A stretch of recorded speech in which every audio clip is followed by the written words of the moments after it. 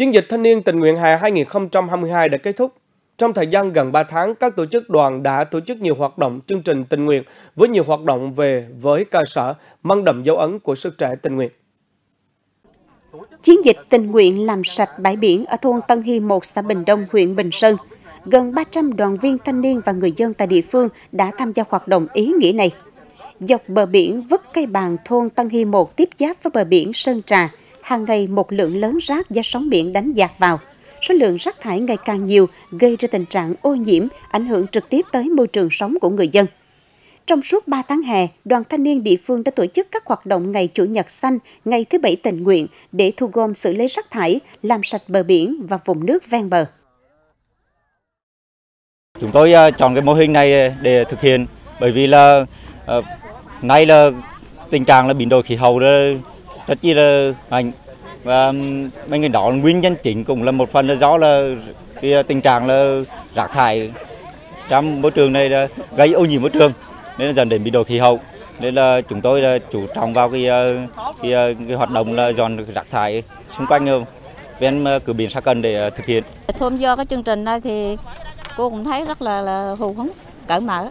Nói chung là trên cái môi trường sống để cho bà con người ta à, nhận thức ra là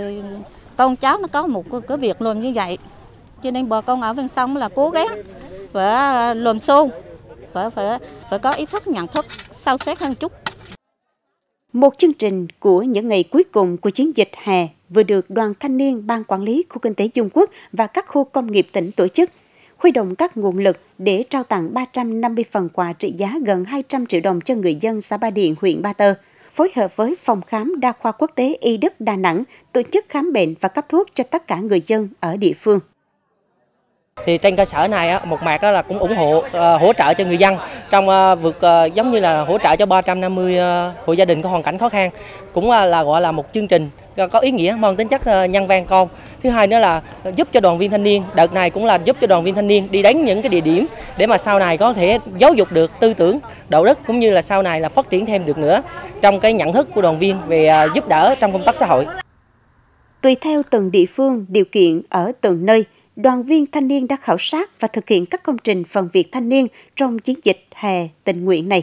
sau 3 tháng triển khai chiến dịch tình nguyện hè, tuổi trẻ trong tỉnh đã thực hiện 230 công trình phòng việc thanh niên với tổng giá trị gần 4 tỷ đồng, trồng mới gần 10.000 cây xanh, xây dựng mới và sửa chữa khoảng 15 km đường giao thông nông thôn, thực hiện 16 tuyến phố, khu vực đô thị văn minh, xây dựng mới 11 ngôi nhà nhân ái, nhà khăn quàng đỏ, xây dựng 20 công trình vui chơi cho thanh thiếu nhi, đề xuất gần 2.300 ý tưởng sáng kiến –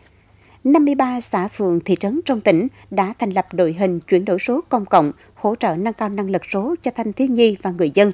Mỗi hoạt động, mỗi công trình đều mang những dấu ấn riêng biệt nhưng vẫn xác định rõ tính thiết thực, hiệu quả. Tâm quyết đầy trách nhiệm với cái tinh thần tình nguyện, à, cống hiến hết sức mình của tuổi trẻ trên huyện nhà, à, trong đó có xã Bình Đông. Thì à, hôm nay là các bạn đã đến hỗ trợ với lực lượng của xã Bình Đông để làm cái vệ sinh môi trường này thì à, tôi đánh giá rất là cao và mong rằng qua cái đợt ra quân môi trường lần này à, các bạn đoàn viên thanh niên tham gia mạnh mẽ thì cũng là tiền thêm một cái thêm đẹp à, cùng với nhân dân trên địa bàn của xã nói riêng để mà bảo vệ cái môi trường xanh sạch đẹp ngày càng tốt hơn. Với cái những cái phần việc thanh niên và những công trình thanh niên thì nó tạo cái sức lan tỏa để mà nó thu hút được các bạn đoàn viên thanh niên